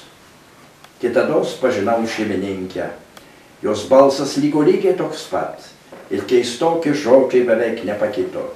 Geriau užsimerkti, įdant manytum, kad niekas nedingsta. Tie patys pačiai ir laikysime. Veido jau beveik nepažįstu. Prieš daugelį metų naktimis spėliodavau, ką jis sapnuoja, tačiau neatspėdavau. Mudviejų žodžiai palyčiais prasilenkdavo. Dieną žvilgsnius atribodavo giedras veidrodžio stiklas. Bet kur kas labiau nei dangaus valdovą mylėjau jos kūnų mislingą tamsą. Arbatą pilsto dar jaunas vyriškis. Santūriai šnekučiuojam, nesu jo tėvas. Kelrodė žvaigždė apsaugo laivą, gergžda vaivas būra dėkina purslai, pririštas prie stiebo klausai sirenų, tolstančios dainos, neįkvoki vaško, nes išskyrus tave jos negirdi niekas. Dainoje gyvena tai, kas išnyko, tai, kas buvo atimta, tai, kas blendo tavo lemtyje, tačiau nesiryžo virsti tavimi, praslinko pro šalį. Tuštumos valda, gretimi pasauliai, Feakų salos apgaulinga jūda. Virvė veržia raumenis, pulslai dūšta, druskos dulksnoje nematyti irklų, tarsi ašmenys, durės sirenės balsas, muzika pripildo netvarų laivą. Į vieną gyvą tarp Vilnies ir skliauto atminties naktis nerasta įtakė. Ačiū.